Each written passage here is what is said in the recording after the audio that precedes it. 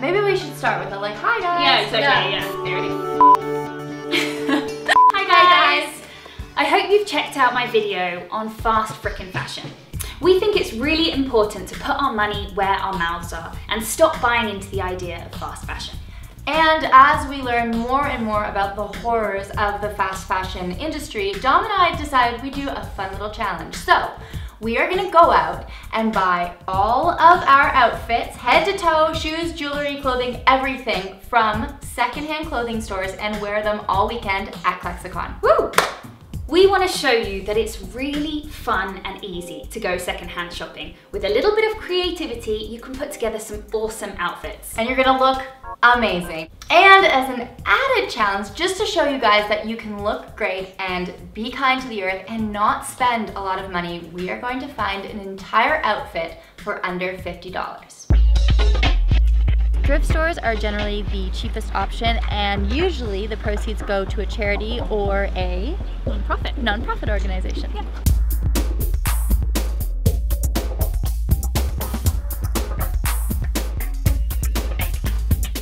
And then we have vintage stores. Vintage refers to clothing that is over a decade old. So they have lots of nice retro goodies.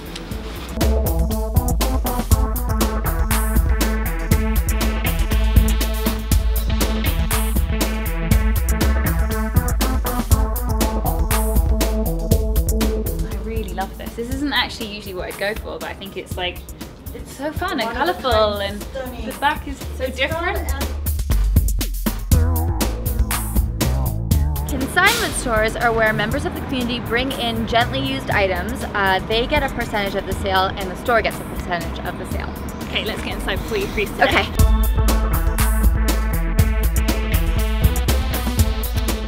So as a little FYI, thrift stores are generally universally cheaper than consignment stores and vintage stores tend to be slightly more expensive than consignment stores, but the quality is generally much, much higher. And one tip to keep in mind is if you love something but it doesn't quite fit, go and get it tailored. Tailored. I believe me, it will end up looking like it was made for you.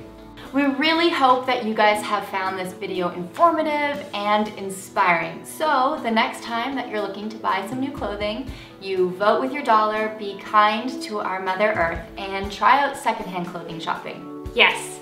So keep an eye out for what we wear and we'll see you at See you at ClexaCon. ClexaCon, let's go shopping!